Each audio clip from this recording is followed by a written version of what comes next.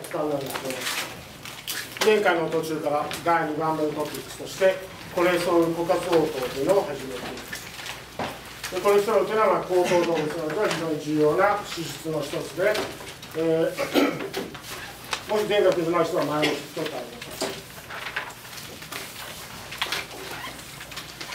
これがあの後ですがコレステロールがないと細胞は死んでしまいます。ということでその供給源としてはゲノム活性というコレステロールを合成するというところが重要で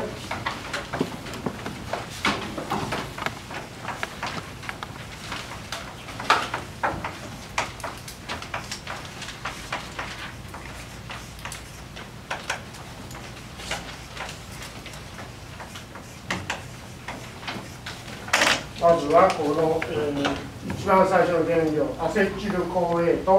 アセトアセチルコー A という2つの成分仕様のものを使ってまず HMG コー A 合成酵素というのが働いて HMG コー A というのこれ反応はこの状態この右の図それが次に、えー、HMG コー A リダクターで還元酵素によってレバロン酸というものに変わるでそれが出てずっとあと何十種類もの酵素反応によって最終的にコレステロールができるという反応。これで合成するただし合成することができるのは肝臓と腸の細胞だけであって他は、えー、作れません。それ、とにかく肝臓とかがメインのコレステロール合成場所でで特にこの H4G 抗栄合成酵素シンターグと還元酵素リラクターズが立足段階になっている。これが酵素活性が高ければどんどんどんどん細胞になるのでコレステロールを作っていきますけども細胞の中に十分コレステロールが溜まっている時はここにフィードバックがかかってここでこの2つの酵素活性を下げることによってコレステロールの合成量を下げていくとそういう調節が行われるこれがやたねデラボ合成ですね。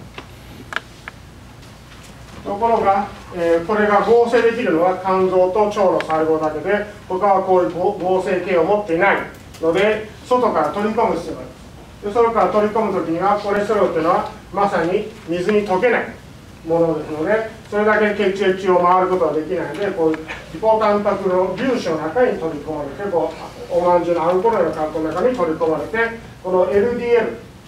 low density lipoprotein が血液中を循環しています。で細胞の近くに来ると細胞の表面にはこの LDL の受容体が発現していてこの LDL がこの受容体に結合するとエンドサイトーシスという、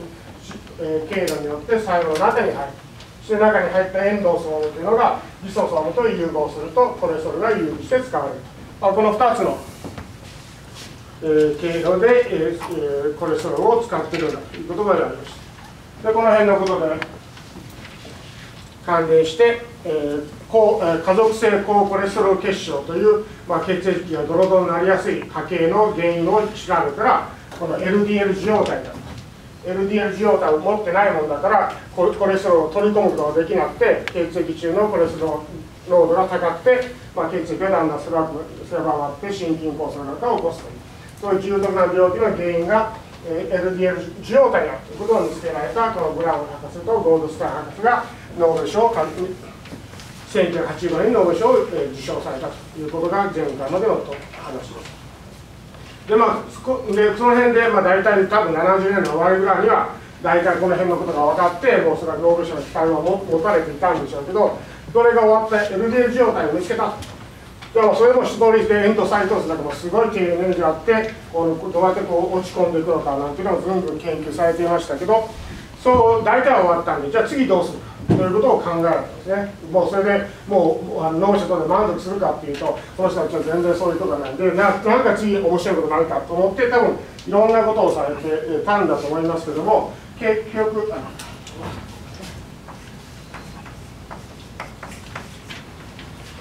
このコレステロールの、えー、向上政治には、えー、この3つの酵素が酵素あるいはタンパク質が重要。LDL、HMG 抗 A 合成酵素、還元酵素、LDL 受容体というのが3つが重要になります。で、これをやったときに、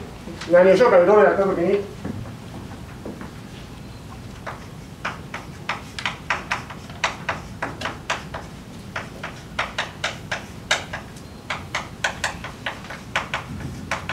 この3つのタンパク質がコレステロールの向上性値ですねコレステロールのホメオスタシスに大事だとしたら細胞の中でコレステロールをなくしたら何が起こるかというのことに興味を持ってや実験をされた。というのがこれからの話です。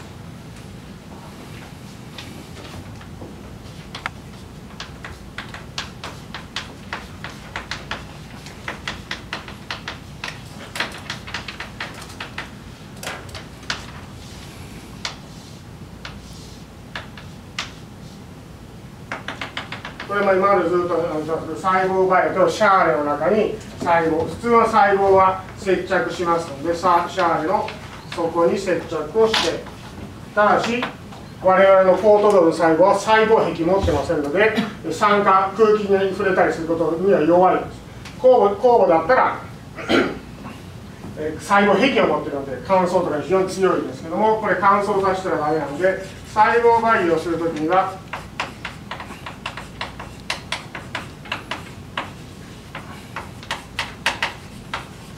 培地メディウムというのをこの上にかけてやって空気に直接触れないようにしてやった。ででこの中にはもちろん栄養。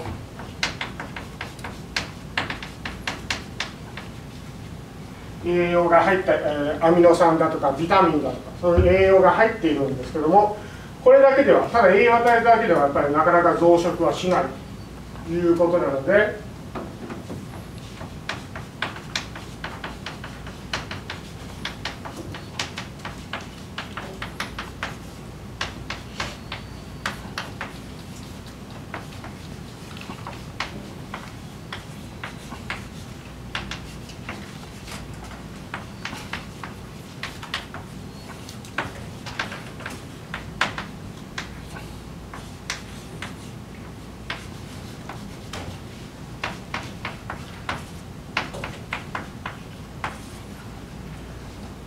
血液牛の牛胎児の血液を入れております。これが大体10%我々が学生の頃はフィータルカーフシーラムといって、えー、FCS と略してるんで最近はフィータル5倍シーラムで FBS と略すことの方が多いですけどもこれを必ず入れております。これがあの胎児の血清だからまだ子供子供がこれからどんどん大きくなろうとする時なんでこの中に増殖因子なんかが入ってるんです。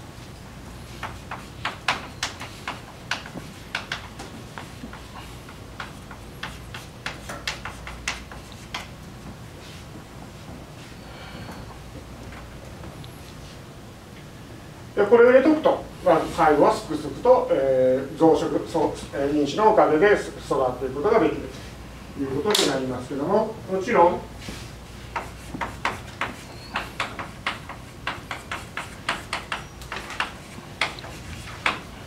これは血液血液ですからね。血液から取った上積みのようなものですからこの中にこれの LDL は入っています。LDL はもちろんこの中に牛体重の中でもこの LDL がどんどん回っていますので普通に取ったら FCS にはコレステロールが含まれています。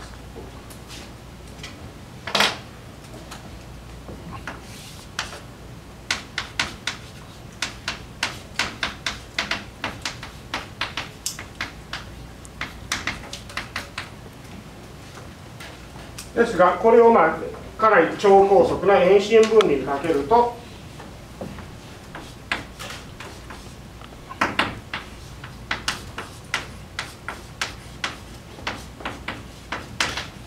油は比重が軽いですからこのリポプロテインは上上背の遠心分の上の方にまだ下に沈まない上の方に残ります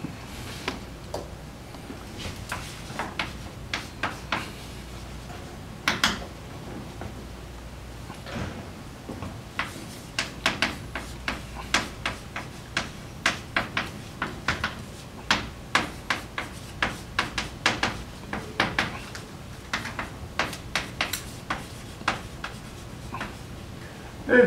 だからそこにはリポプロテインがもうなくなった。他のプラズマ栄養成分とかもいろんな、まあ、こんなものが飛び込むものが入ってる。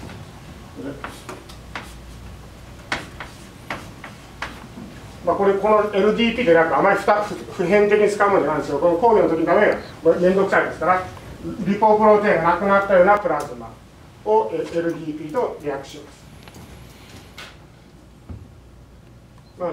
研究室に入った時に細胞倍することあると思うんですが必ずこの栄養だけではダメです FCS を必ず入れないといけないこれ結構高いので500ミリリットルの瓶で23万円するんですよねそれが結構大変で我々学生の頃はこういう牛退治だからオーストラリアから輸入するんだけどなんかそこがうまくいかなかったらもう細胞倍が止まってしまうみたいな期間もあったりさ時代もあります今は割と安定教育ですね。なんかででも時々ロットチェックといってねみんないろんなあの個体から取ってくものですから均質じゃないですね一つの個体から取ったものは同じロットだとでロット番号がついててずっといくんですけどそれ別の個体だと、まあ、この辺のいろんなものの顔料とかなんとかが違っていて自分の細胞培養に適したものを選ぶ必要があるんですね。買ったら何でもいい。こっちの栄養の方はもう大体均質だからこれはどこの買っても基本的にバーキンに入ってなきゃ大丈夫なんですけど FCS の場合はあの個体ごとにちょっとあの増殖能力が違ったりするので、えー、やっぱりそので一旦買うと 500, 500で500ってなってまた次試すのは大変だから一旦、えー、ロットチェックといってどのあの個体の血液が一番自分たちの細胞培養細胞に合ってるかというのをチェックするで5種類ぐらい試供品をもらってチェックしてえー、これがいいとかいうのをこれこれだとちゃんと今まで通り実験できるというのを確かめてから大量に100本購入するとかいうような話になるんですね。でこれはまあ必ずいいのが必要です。でこうやって、えー、いきます。でこういうやればリポプロテインがないこれすなわちコレステロールがないというですねコレステロールがないものができたのでこの人たちは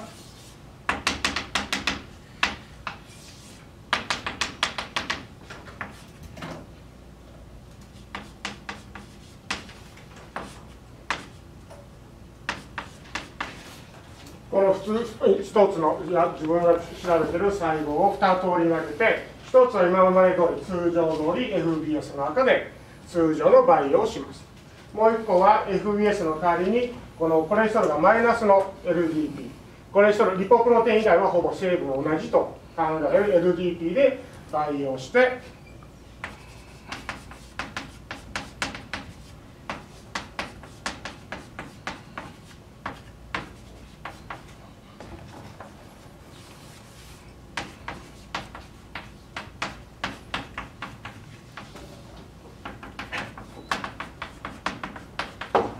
でそこから RNA を取ってきてノーザンブロットをしますとでこれが今日のプリントの、えー、あの一番だけの方のプリントですね。ナンバー13で彼らはとにかく徹底的にややる調べることは全部やる。と人ちょちょっとやってあとは任人に任せることは絶対しないのでこの3つとも調べて。コレステロールの向上性質に重要な3つのタン,、えー、タンパク質。まだ多分このくらい抗体ができてないだろうでもいきなりノーザンタンパクレベルは調べてます。それぞれのメッセンジャー RNA がどんだけどういう挙動を示すかというのを調べてみるとまずここに目になるのが、え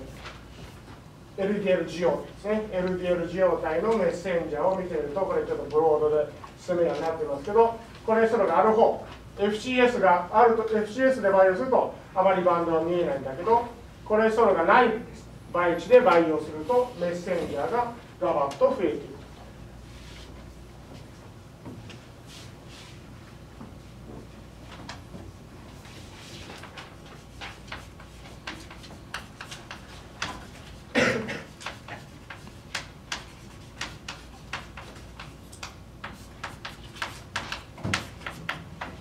下も同様にここは H のリダクターズに関してもコレステロールがある時よりもない時の方がメッセンジャーレ量が増えている合成こそシンターゼでもコレステロールがある時にバラ比べてない時がガバッと増えている。すなわちコレステロール枯渇にしてやるとコレステロールを細胞から抜くという割と細胞に危機的状況なんですね。この後も出てきます。細胞にコレステロールない状態にすると死んでしまいます。だからそういう危機的な状況になってくるとこの細胞はコレステロールを、え、合成する能力を高める。あるいは細胞の外から取り込む能力を高める。ということが起こってくるということを見つけてこれこれでななんか新しいこれそれ国家相当というのがあるんだということが分かったので国家先どういう仕組みでこのメッセンジャーが増えるかというのをこれからやっていくこれも計算相当と一緒ですねあの時はまだ単板から始まりましたけどここはもうメッセンジャーから始まってすなわち多分転写制御だろうと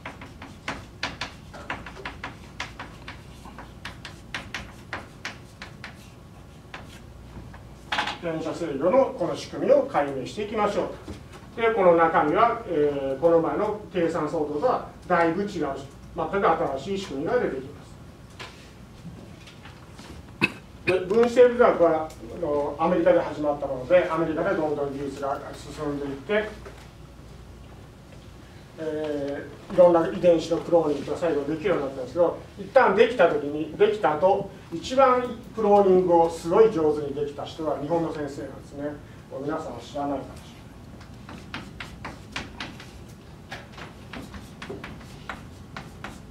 れない。沼正作先生という方がおって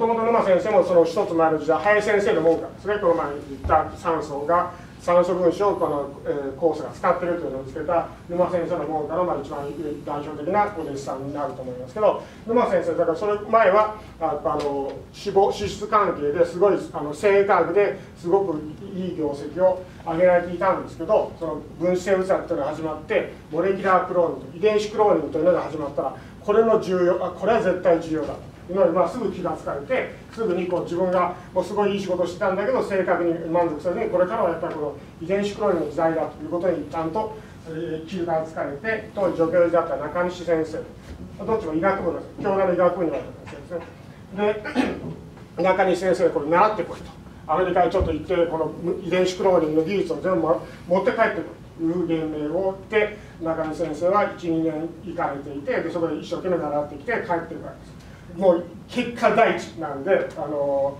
えー、研究室を工場にしちゃったというような感じで普通あの遺伝子クローニングするためにはタンパク質の生成をして当時だったらアミノ酸配列を決めているというのは昔分子でやりましたね。まずは昔はタンパクをきれいにして、えー、アミノ酸配列を決めてそれからプローブを作ってライブラリをスクリーンして次は遺伝子が取れたら次は DNA の配列を決めて。配列が決まったらデータに組み込んで細胞の中に入れてどんなことが起こるかというようなことは一連の授業をやるのがで普通は最初から最後にやりたいと思うんでしょうけどもそんなことやってたらあの毎回新しいことを習わない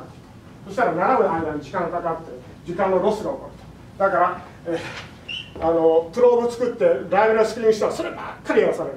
あ次々ベルトコンベヤーで物が流れてきて次はこの遺伝子だって言ってこう物が流れてきてプローブを作ってライブラリを作るようにしてこれが当たりだというと次の人に渡してその人はそういう遺伝子を増やしていって DNA の配列を決めてやる。そしたらこの人はまた次のベルトコンベヤーに乗ってこれをやってきたんでこれはベクターに組み込んで動物細胞に入れてやっていくというようなやり方をするからめちゃくちゃ、えー、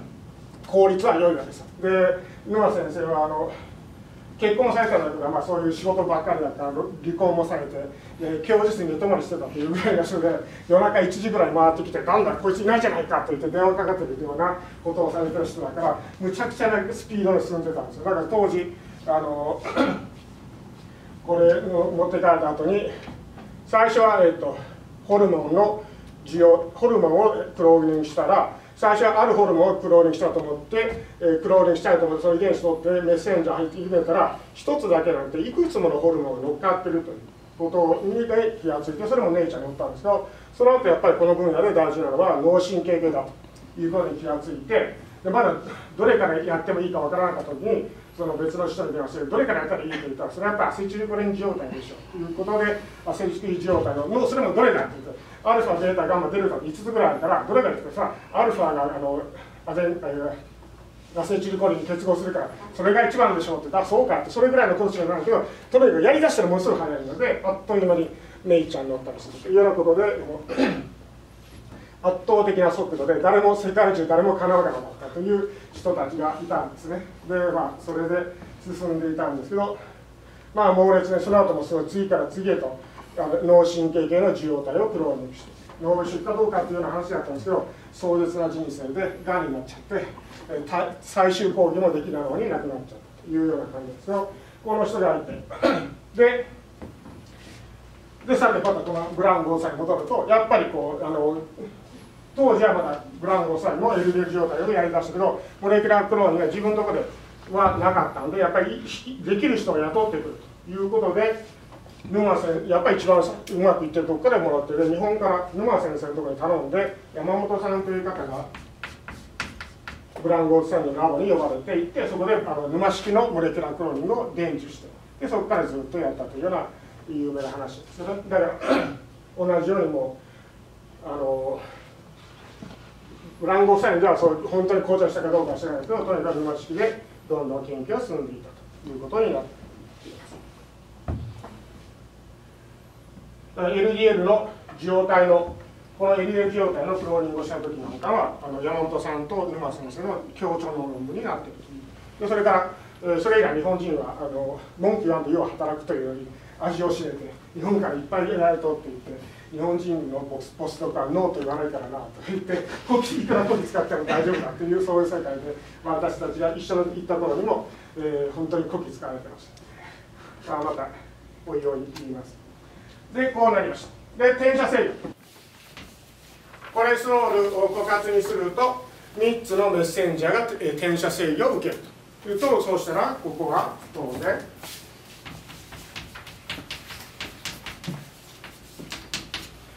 次は同じですね。シス配列を決める。プロモーター解析をすると。どこにこの転写制御を受ける配列があるかを決めていくということをします。でここはもう想像できますよね。何をするか。これ計算相当と同じで5ダッシュ側にありますか3ダッシュ側にありますかというのを決めていて次はどどこの場合は5ダッシュ側にあってですね5ダッシュ側にあってというのがあってあとはどんどんどん狭めていって、えー、結質変異体を作って次には力変異体を作って決めたらもうそこはあの料理番組なのでここは飛ばして結果だけはこれもうそこは想像できるところは時間のカットでここだとこの SRE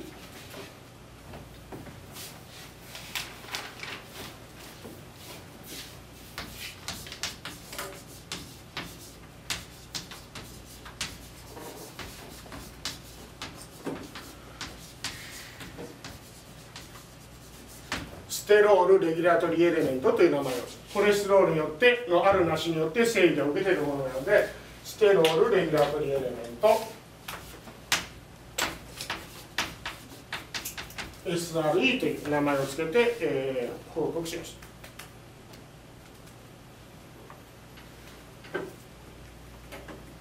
ただ名前だけはなんかえらいオーソドックスな名前なのでなんかこうなんとか文字ってこうアピールするようなことはなくて割とクラシカルな名前を付けていてこうステロールレギュラーテレー例えば LDL 受容体だとここの。斜線引いたところに1箇所にあります。ターターボックスの前ですね。ターターボックスの上流に5の1にステロールレギュラーテレメントがあります。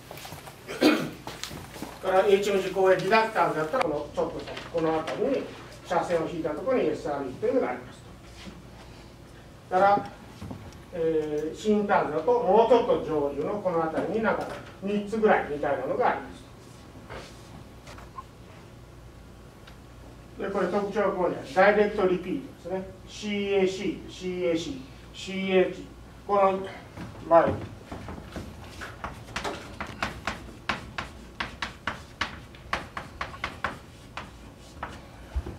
割とあの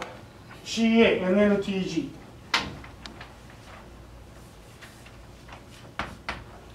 こういう配列が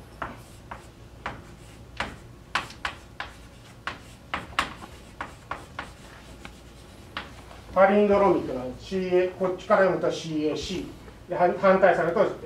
C、ここっちが CAC になりますからねこれと上から読んでも下から読んでもというこういう。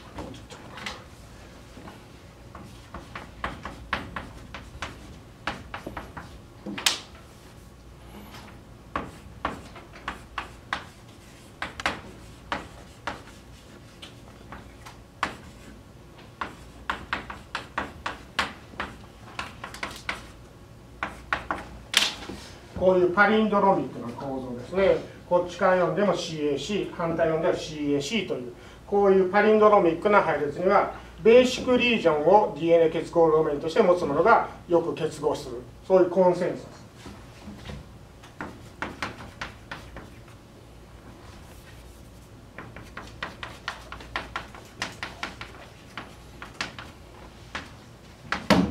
塩基性領域ベーシックリージョンを DNA 結合ドメンとして持つもののコンセンサイレスというのは CANNTG というふうに訳されるパリンドロミックな解分構造の配列です。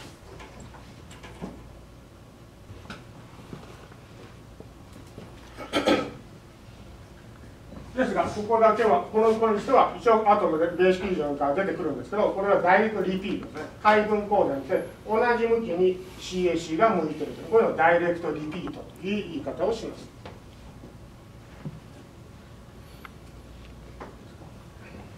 これで出産率が決まります。こういうダイレクトリピートがこの転写制御に効いてるでしょうということになるんです。そしたら次は C サイズが決まったら計算相当にあの思い出してもらえば次はこれに結合するものを決めていく同定す。るということになります。そのためには何をするかというとゲルシフト。ですよね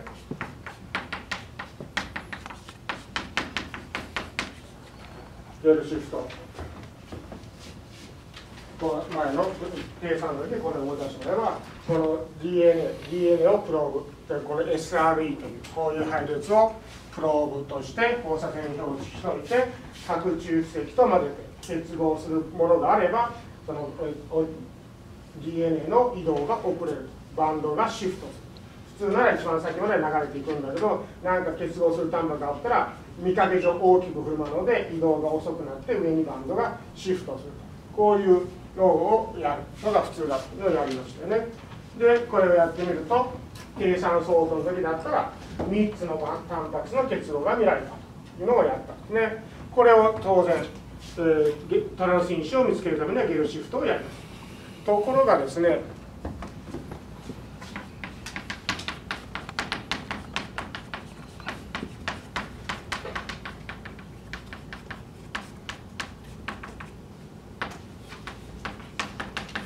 このこのさっきの計算相当の時にはこう中積を取って混ぜたらちゃんと3種のバンドが出たというのでそれもなんか計算素で変化するバンドもあったりしてなんかうまくきれいにいったんですけどここの実験では非常にそのバンド探しが難航したんですね。これは後からですね量が少ないからです。結論後から分かると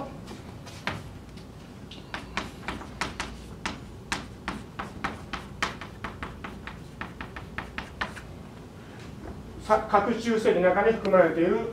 量がすごい少なかったためにいろいろノイズがやっぱり出てくるんですよね。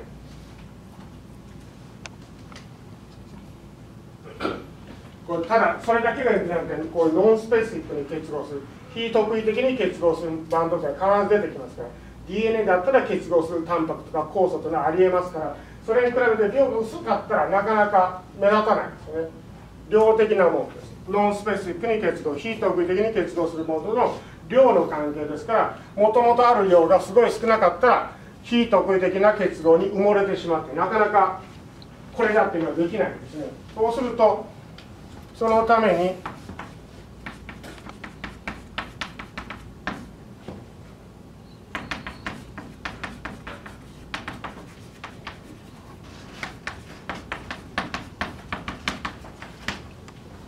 顔料が少ないからできないんだったらやっぱ少し生成してこの顔料を多くする。ようなものを生成ある。いはもうこの生成という分割する。なんか核分を少し分けてからゲルシフトしてる。ということしかないとそのまま核中積のままやったらもう全然それらしいこれだというバンドが見つからないので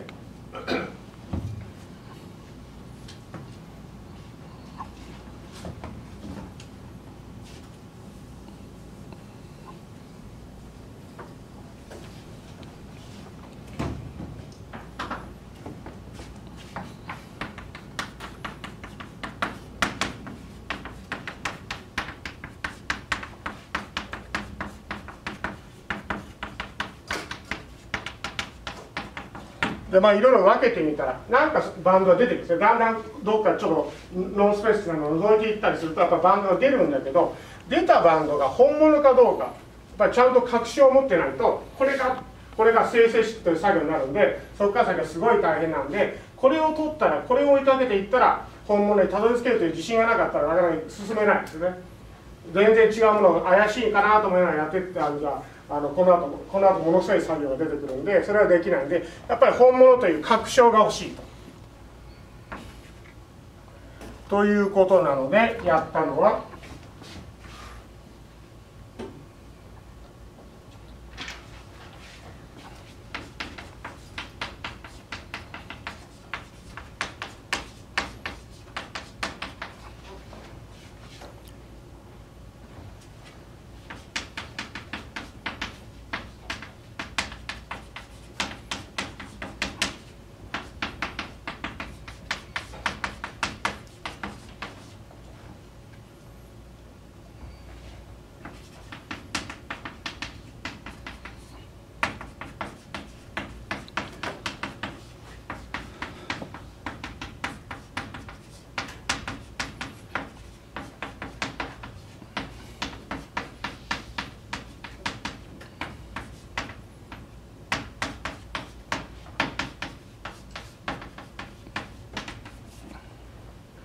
ちゃんと確証を持ってこれだという自信を持つためにこの SRE という主催列の転写をメディエス媒介する活性とトランス因子得られたバンドへの結合活性を1塩基レベルで比較するということをやった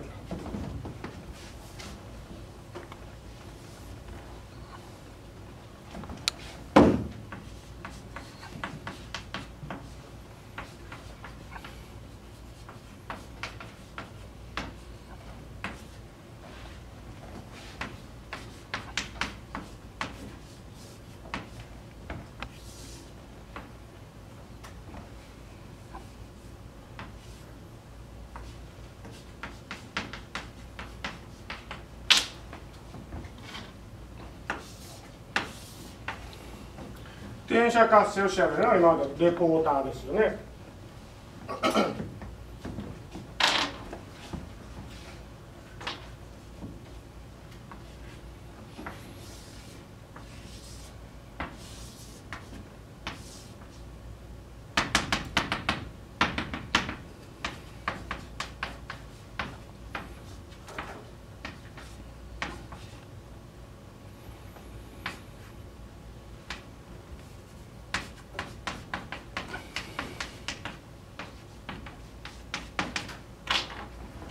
ですからこうでこの SRE の活性を調べるためには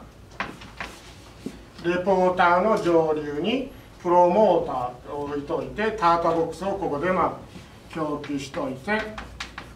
そのさらに上流に SRE というのを置いておくと。こういうレポーター遺伝子を作るレポーター諸君でまたこれ遺伝子導入で2つのシェアリに分けたためにそれぞれこのレポーター遺伝子を入れて片一方は FBS で培養する。コレステロールありで培養する。もう一方はコレステロールなしで培養してその後1日ぐらい置いておいてレポーターをするという実験をするわけです。でここでレポーター発生をして測定したら例えばここでは10という活性が出て LDP で培養したら100という高速化数が出たとしたらこれは10倍増えたと10倍の転写誘導活性があったという判断をするわけ。まあ、で普通普通ならグラフ処理するときにはこんなふうにしてこコレステロールがマイナスだとあプラスだと、えー、10でマイナスすると100になった。10倍増えたという形にするんですけどこれだと2連2行必要になってくるんでこの場合はこのデータでは小スペースのために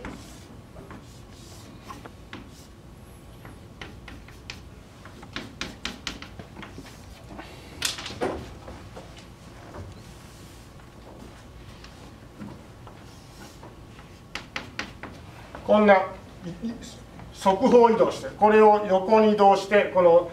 大きなカラムの中に入れて入れ込んでいるというようなやり方をしてこれでもプラスだだったらこの色色で分けてますね。この10だったのが100になって10倍誘導された。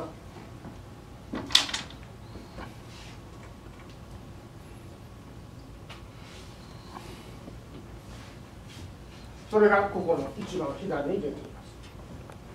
ワイトタイプと書いたのがその SRE そのまんま。そのそのまんまのプロモーター中にあるそのその SRE を取り出してきてそのまんま入れたらこんな風になったと。ここの因がここの黒がコレステロールプラスであると。プロステロールと10という値が出たと。でコレステロールマイナスすると100までいったから10倍増えていったという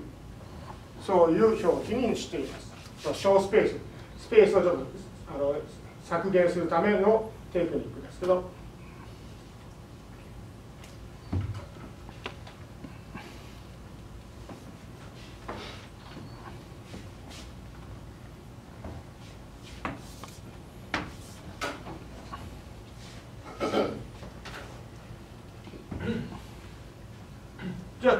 1塩基レベルでっていうことですね。1円キロ一番左が Y タイプですがこれは横に書いてあるこの配列そのまんまです。Y タイプという意味はこの前上に書いてあるここのところが配列をここに入れたらここに入れたら10倍転写誘導が見られたというふうに読み取りますこの配列。ここの A からここ最後の A までを入れたらそうです次は1円切れるというのはその1個ずつ変えていきます。ここの一番左だと1個のなこんだけの DNA の中に一番最初の5出しが A だけを T に変えています。他は一緒。2番目は2番目は A だけを T に変えて他は一緒。というここの下の矢印の数その1塩基だけを変えて他はワンタイプと全く同じという DNA を作ってこの中に入れてこれは DNA 合成できるんでこれなの簡単です。自分で DNA を作る必要ないのでこうこういう塩基配列のものを作ってくださいと。言ったら頼んだらもうやってくるんでこう入れるだけです。そうするとどうなるか。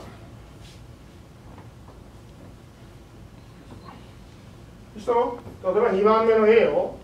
T に変えてもほとんど変わってませんよね。10だったものがほぼ 95g 上がっだからちゃんと誘導あるからこの A は重要じゃない。認識されてないということになるんですよね。ところがここの辺のさっき言った CAC のところ。そうする。C を A に変えたら全く増えてるんですよね。10というところはこれそれプラスの時の10はあまり変わらないんだけどこれそれマイナスでも白で上にもほとんど上がっていない。ということはこの C はとても重要である。トランス因子が認識するためにはこのここが C であることが重要であるこの C が A に変わったらトランス因子は認識できないということになる。だからこの白白のところが上に行かないものほどトランス因子の認識に重要であるという結論になってこの四角で囲んであるところが非常に重要だという転写活性に重要だということになる。ただしここの真ん中の C に関してはほとんど影響ないですね。だから真ん中の C に関しては影響ないんだけどこの CAC CAC というダイレクトリピートを中心にした配列がこの SRE の活性には重要であるという結論が出ます。でこれで転写活性が分かりました。ここのここの123456789個の塩基がとても重要であると。いうことが分かったので次は結合活性を調べるのは再びデルシフトですよね。デルシフトありました。でこれ核中性ができなかったんでないくつ何か何かの、えー、イオン交換クロマトグラフィーをやったりとか何かやって少しタンパク量を減らしたものでやってみます。そうするとだからまずここに見てるのは一番左はワイルタイプこのこの配列を放射線標識して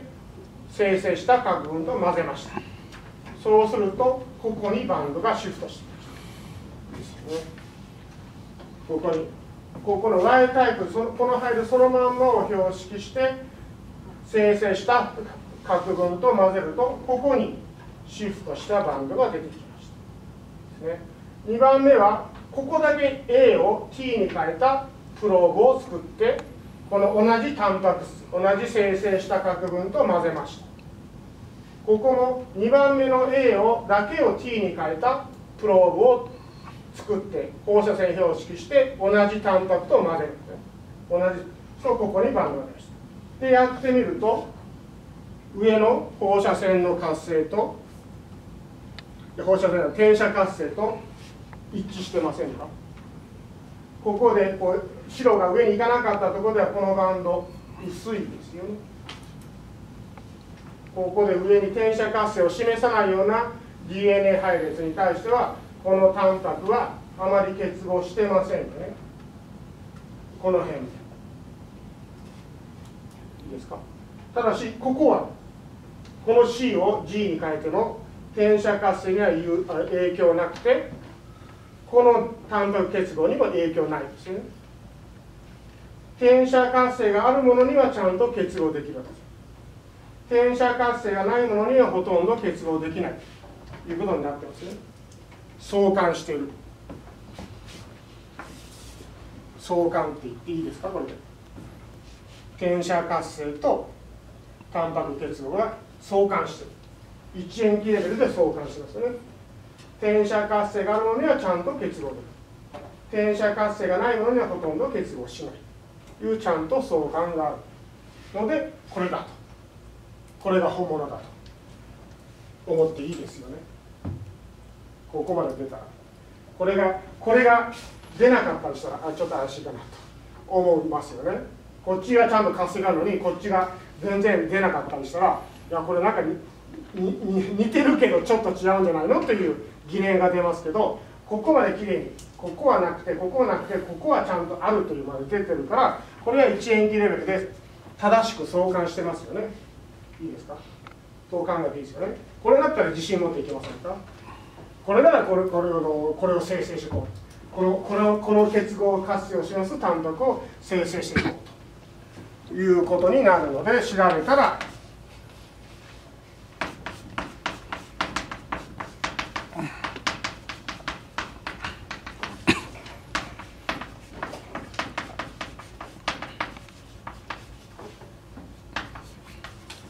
相関したと。1円レベルで相関したということが分かったのでじゃあこれを生成しようですか？でじゃあ生成します。これこの時にあの 生成のやり方もこの前の計算ソードでやりましたよね。いろんなカラムクロマトグラフィーをやる。というのでここにはヌクレアエクストラクト核中性。ね核中性器をだからこれを生成するんだから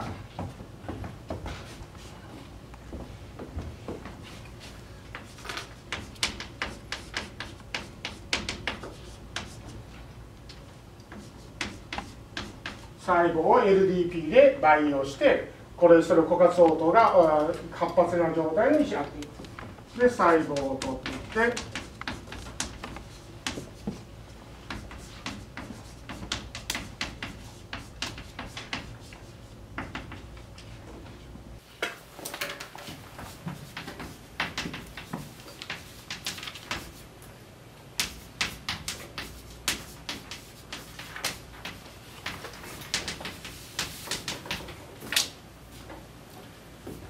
これが壮絶な生成表よくやったなこんなのよくやったなと思うんですけどこれはさっきはゲルシフトでさえなかなか難航したものなんでもともとめっちゃ少ないものを生成するっていうのはものすごい至難のものでこれ何人もやらせたんでしょうけど結局やったのはワンっていう中国から来た留学生大学院生がやり遂げた。でやり遂げて黒鬼まで行くんですけど7年かかった。来る日も来る日も来る日も来る日も低温室で凍えながら当時の中中国なんか帰ってもあの鄧小平の時代だったんでそんなサイエンスなんかできるようにないから優秀なやつはどんどんアメリカに流れていってここで一旗あげるんだアメリカでちゃんと生き残って研究者になるんだっていうそのハングリー精神がすごかったんで、えー、あの本当にやってやり遂げたということで。この、えー SP セファロスか、まあ、詳しく言いませんけど、これイオン交換クロマトグラフです。これは DAE といったのと同じようなイオン交換の樹脂をやっています。で、交換樹脂かけるとちょっとボリュームが広がったりするに次にアンモニウムサルフェットって硫酸って日本語で訳すんですよ。硫化アンモニウムですよね。硫化アンモニウム、硫化アンモニウムを日本では硫酸って言いますこれをある程度何十パーセントの濃度に加えると、タンパクが、ああの、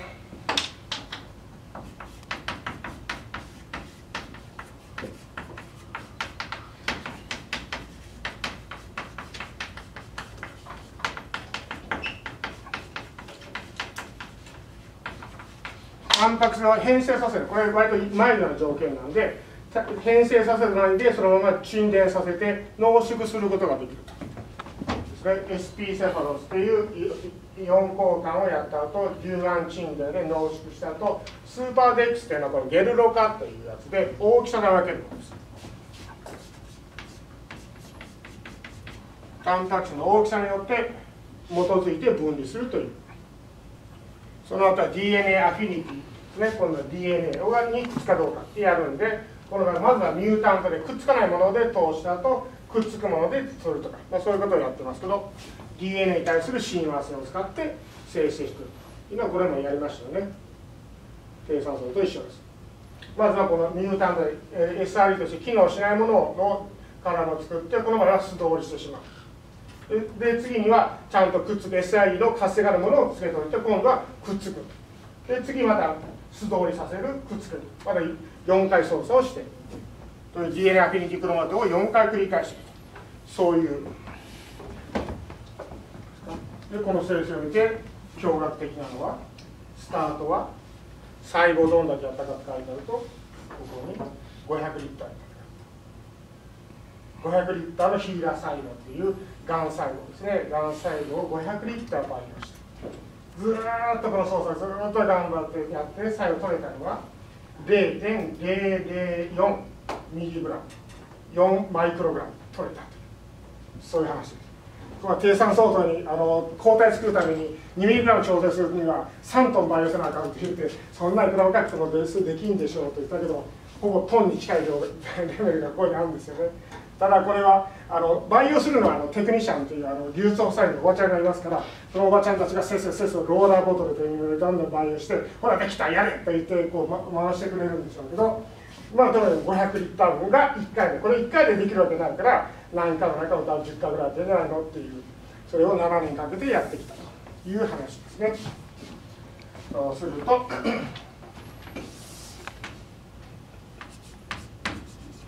500リッターからの培養液から4マイクログラム取れました。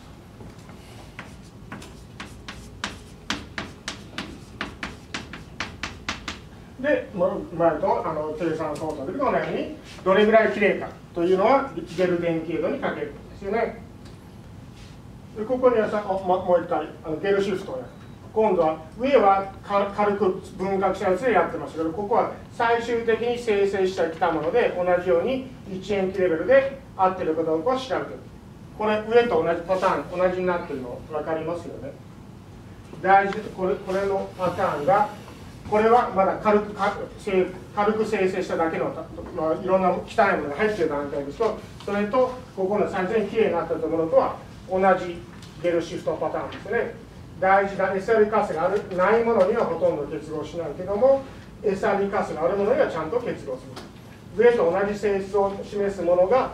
上と同じ特異性を持っているものがちゃんと生成されてきたというこれ証明です。上とパターンと一緒ですよねこのこのパターン特にこの真ん中の C が G に変えても影響ないというのがちゃんとこの生成してきたものに関してもちゃんと C を G に変えても影響ないこれ同じ同じことが出てますよね。左右は影響されてます。で生成 SS ページだけで選出するとこの辺にバンドが見えますね。3本ぐらいバンドですね。この辺に。大体68キロダウントンぐらい。68キロダウントンぐらいのバンドが見えてきました。3本ぐらいあるんですよね。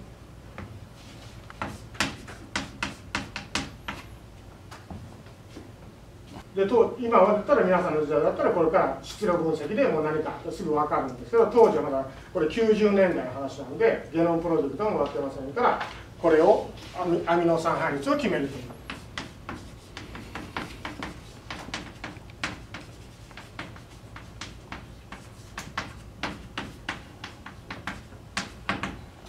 当時だったらアミノ酸配列をちゃんとでプローブを作ってライブラリをスクリーンすると。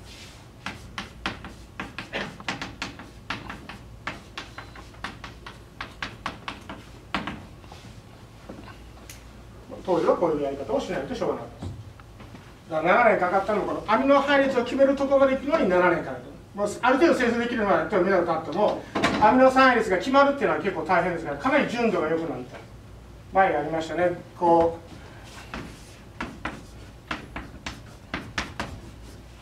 こうアミノ酸ずっと決まっていてこれ当時やったら、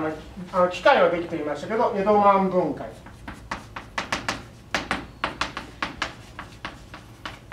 エドマン分解というのをかけて一番 N 末端のアミノ酸を有利して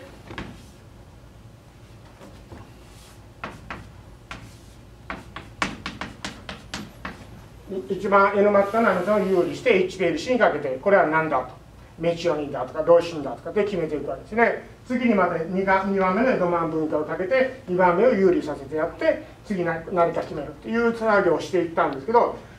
これはやっぱり90%以上の純度がなかったらこんなことできませんよね。もし50%の純度でこれと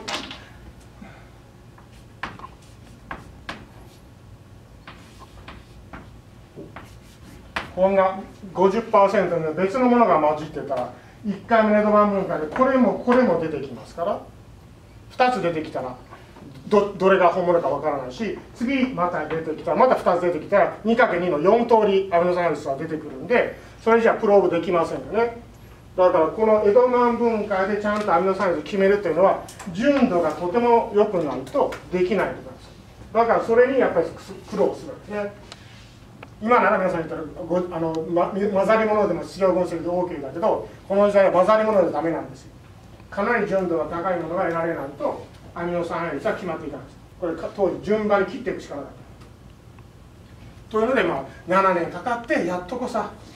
アミノ酸配列が決まったということになって。さあ次は DNA クロクローニングだと。だから普通これだったらワークでああよ7年もかかってよう頑張った。よう頑張ってアミノ酸配列決めてくれたじゃあ次 DNA クローニングしと普通のボスはそう言いますよね。でもそうじゃなくて沼先生方式を採用するわけですよワン君が7年間タンパクの生成しかしてない。遺伝子をプローブとかライブラリを作りにした経験がない。そいつにやらせるともたもたしてまたスピードが鈍ってしまう。そんなことをしてると余裕はない。でその彼はあのグループでやってるんだけどそのグループの中で、えー、ワン君にはこのここはやらせなかった。そういうことでそのグループの中で唯一もれあのこの遺伝子クローンの技術を持っていたのはちょうどその頃に日本から留学していた横山千恵子さんという日本人の、えー、関西の循環病病センターから留学されたんですよねその方が唯一そのグループでこう遺伝子クローニングしてたんでお前やれとやらせてもらえてセルのペーパーが出たというめちゃくちゃラッキーな人でワン君はこれ一生懸命やったけどこの論文 JBC なんですよね JBC っていうのは生化学会の学学会誌ってですね割と堅調な学会誌ですごい乗るとセルとかいうの商業誌に行くんですけどこれで。まあ後でその名誉挽回のためにいろいろこうあのしてやったらしいんですけど単にこの彼が成長するのを待たずに早く研究が進むことを選んだということで遺伝子のクローニングをしました。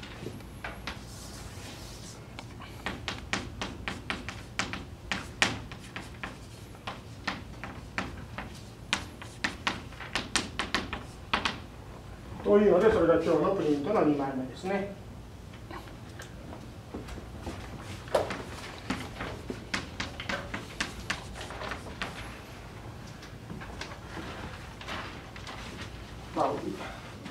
のラボに研究が進んだらすごいなという誰もしも憧れるんですよ。決して普通の人はそれをまあやめこっちに移すってできませんよね。うちでそんなことやったら誰も来なくなっちゃうんで そういうのも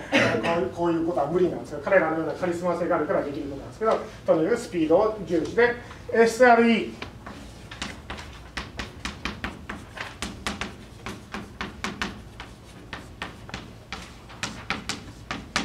彼らは名前には来らないんで SR に結合するタンパク質というので SREBP という名前を付けました。でまあすぐに分かったことですが一応1と2という2通り2つ遺伝子としては違う。よく似てるんだけど違う遺伝子2つが存在するということはまあ後に分かります。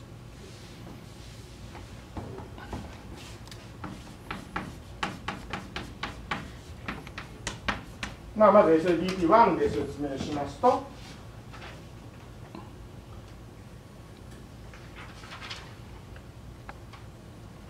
ここには、このプリントのように、真ん中辺にヘリックスループ、ヘリックスドメインがありました。だからここにベーシック、ヘリックスループ、ヘリックスがあったんです。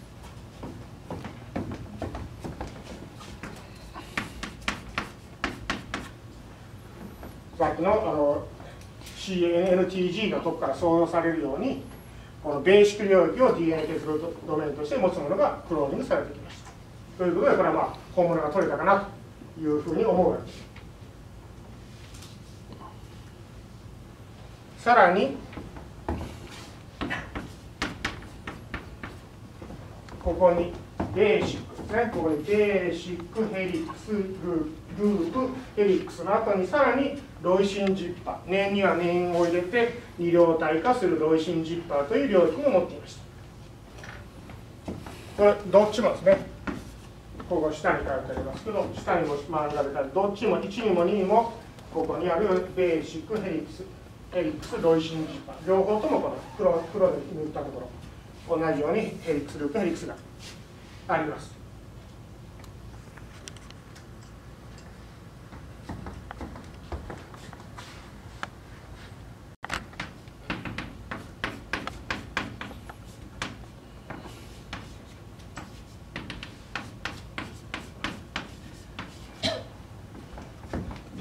でどっちも真ん中辺あたりにベーシックヘリクスヘリクスロイシンジッパーがあって全体の長さを見ると、えー、1の方が1147アミノ酸2の方が1141アミノ酸分になっています。でここらの詳細に対してこのこのダイレクトリピートをどどのアミノ酸が認識するかというのをまあちょっと書いてあったんでたまにあのつけておきましょうこのアミノ酸の中のアスパラギンとかヒツジンとかグルタミン酸がこんなふうに結合するんだというようなことがまあこれは参考式で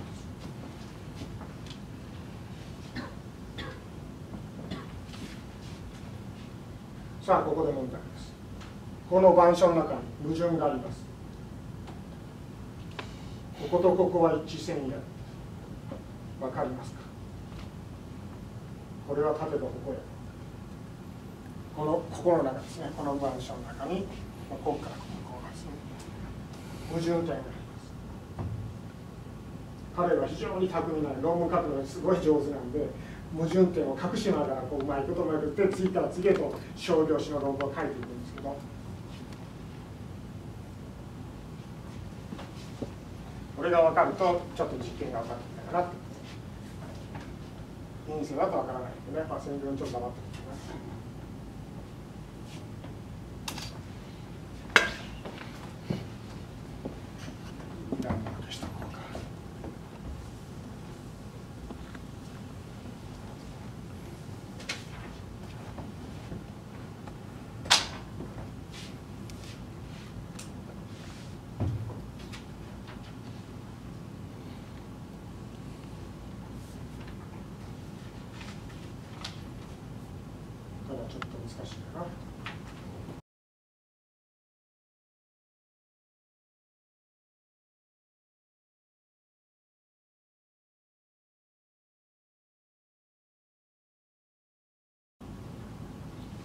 あのね抗体はなくてもいけるんですよ。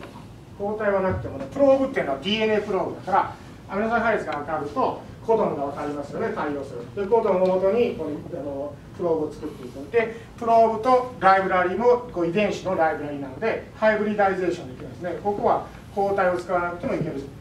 アミノ酸配列が分かると抗体を使わなくてもラブのスクリーンができます。ただあの今言ったようにアミノ酸配列が分からない場合抗体を作っておくと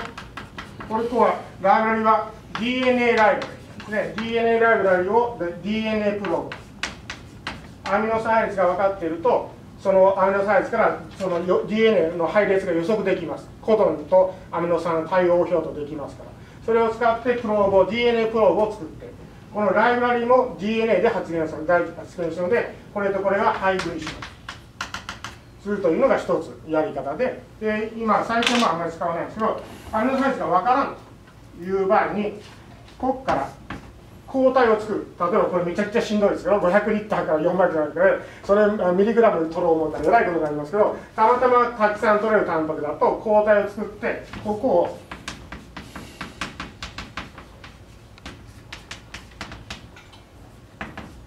発現ライブラリといって大腸菌の中でこの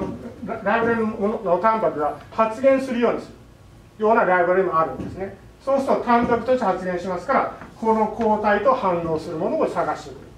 というやり方は一つテクニックとしてはある。でも今回はアミノサイズが決まっているのでここは抗体なくても遺伝子は取れるんですね。そうすると分かる。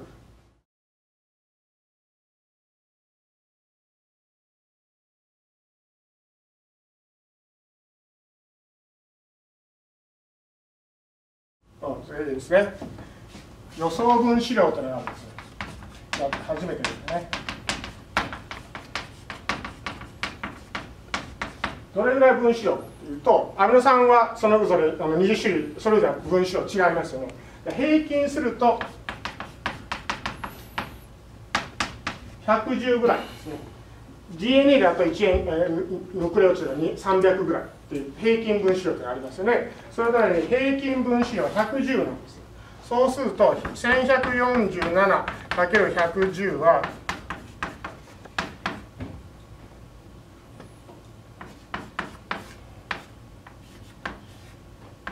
1260ぐらいですよね。1260キロダトンぐらいの大きさのあるんです。もし111 1147の皆さんがそのまんま翻訳されてタンパク質になったとしたら予想の平均分子量は1260ぐらい。じゃあ126キロだとね。126キロだとになります。1000×100 だからまあ10万ね。126キロダートぐらいになるはずなんですよ。ですね。でも捕まえたものは68で。半分しかない。じゃあこれ本物かっていう。取ったものと違うんちゃうのっていうことの疑念も出てきますよね。そうした時にどうするかというと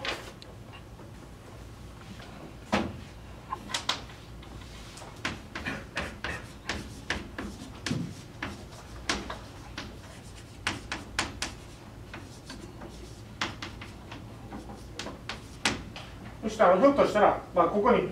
ベーシックヘリツルクヘリツドメインがあるんだけどもなんか DNC で無視あのミスがあって本当は真ん中辺で終わってるストップが出てくるはずなのにそこをミスって後ろまでたまたま行っちゃってて大きいのになっちゃったという可能性もありますよね。だから本当に DNA シーケンス正しいんやろかということを調べないそこで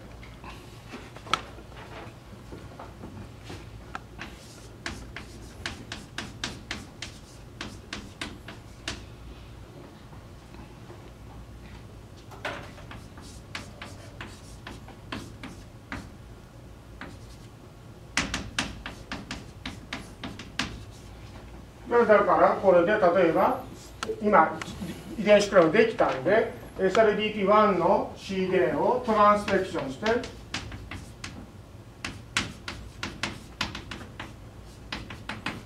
トランスペクションして最後の中入れてあります。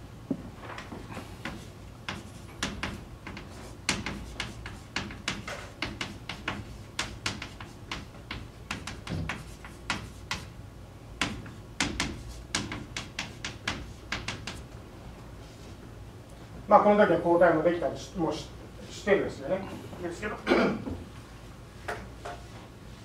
それが今日のポイントの2番目かな。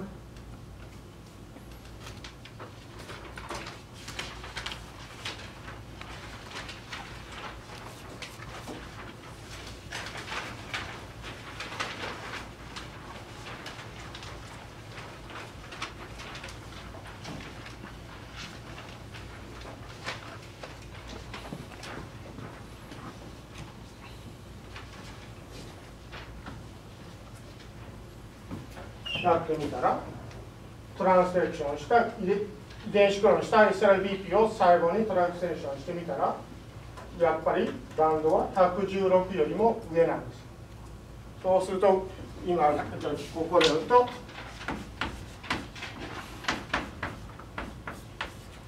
ウエスタンやってみると125キロダウトン出てきますね。だからこのこれとこの予想分子量とほぼちゃ一緒なんですね。126だと予想したのが125で出る大体別に予想通り。となんでミスじゃないんですね。遺伝子の DNA シーケンシングにミスしたからあんなこと変なことが起こったようになって正しく取ってきたものはちゃんと125キロダウトンの大きさの遺伝子産物タンパク質をコードしてたわけです。それが何でか何か知らんけど生成してきたものの場合は68なんです。なんか細胞内で変化してるとしか思えないですよね。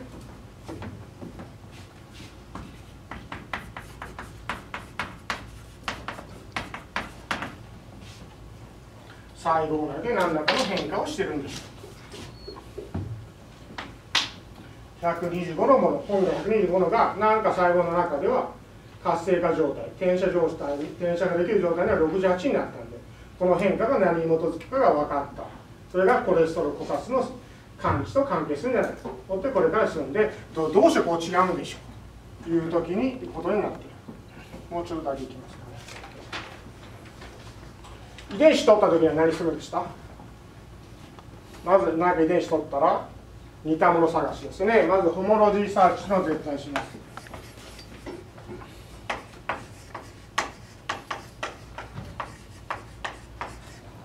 この場合はホモロジーサーチするとベーシックヘリクスループヘリクスロイシンジッパーというのが出てくるのでこれは転写因子だというふうに機能推定をしますよね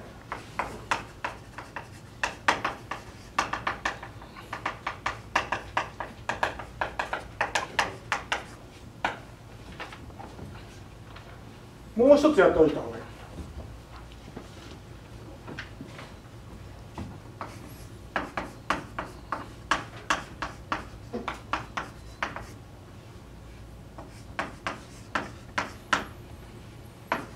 ハイドロパシープロットと一般的にあります最近はプログラムがいっぱい出てきてるんであの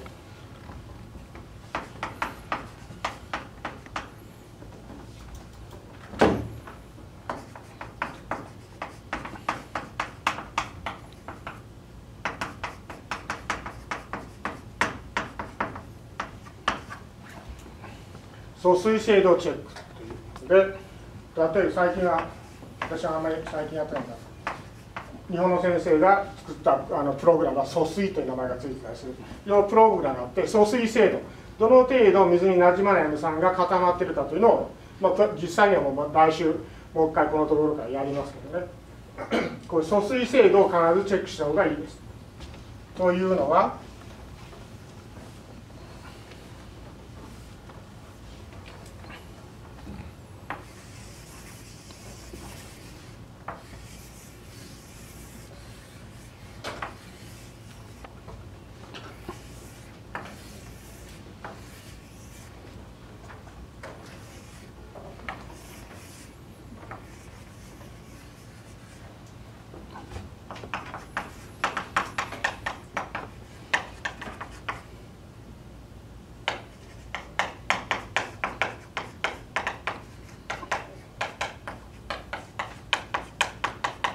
細胞のタンパク質が細胞のどこの中のどこで働くか。細胞の中の極材ですね。どの場所で働くかというのはシグナルにその、えー、従っていくと。シグナルセンス。というのを細胞センスでやりました。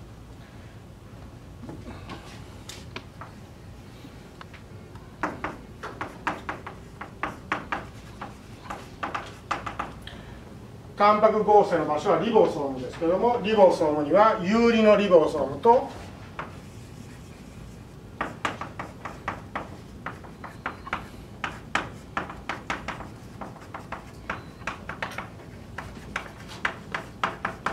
小胞体膜結合性リボソームの2通りある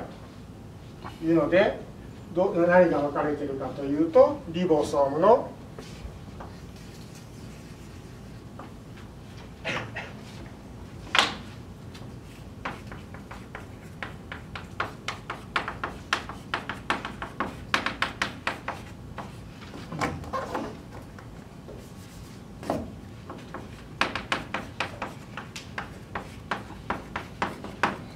リボソームで合成されているときに最初の N マッターに疎水性のシグナルペプチド。8アミノ酸ぐらい疎水性のものが固まって出てくるとこれに SRP がくっついてでここを泳いでいって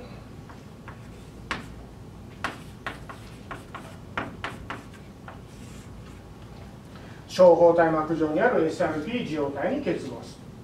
することによってリボソームがこの小胞体膜結合性リボソームに変わるというのをやりましたね。だからここでは疎水性のシグナルがあるとまず小胞体膜結合性リボソームで作られてここから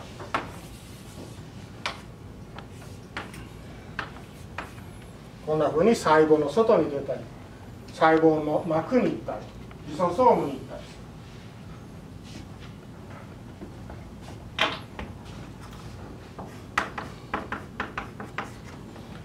こう細分泌経路ですね。細胞の外とか細胞膜とか。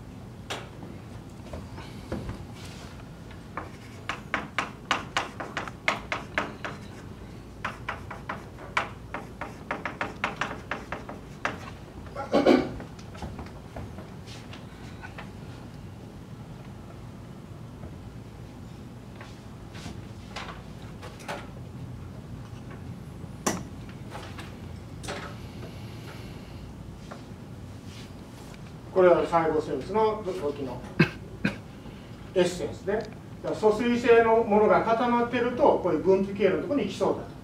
細胞の中でどこで働くかっていうのは疎水性のアミノ酸が固まっているかによってかなり決まるので疎水精度をチェックする必要があると。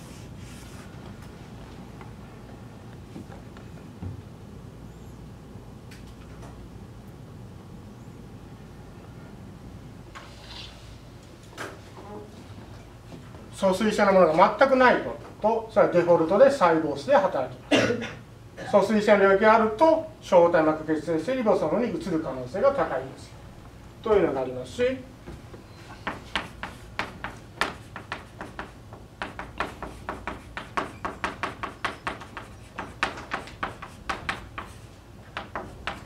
両心媒性というアミノ酸配列があると。両心の片っぽが疎水性で片っぽが浸水性ですね。そういうアルファヘリックスの片側に疎水性が並んでいる反対側に浸水性が並んでいるというのを両心媒性ヘリックスと言いますけどこういうものがあるとミトコンドリアの中に入っていくという決まりがありますし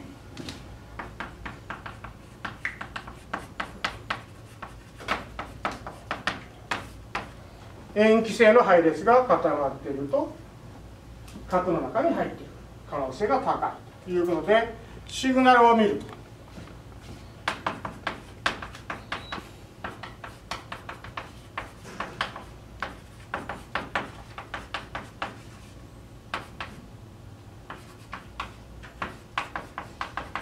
シグナル配列線を探すとそのタンパクがどこで働くんかという極材が分かっている意味で何か遺伝子が取れたら機能を推定するというのとどこで働くかを推定する両方やっておく方がいいですよというふうなのが大事なところです。ということでちょうど時間があったので終わりましょう。来週はこのハイドロパシープロットのところから始めます。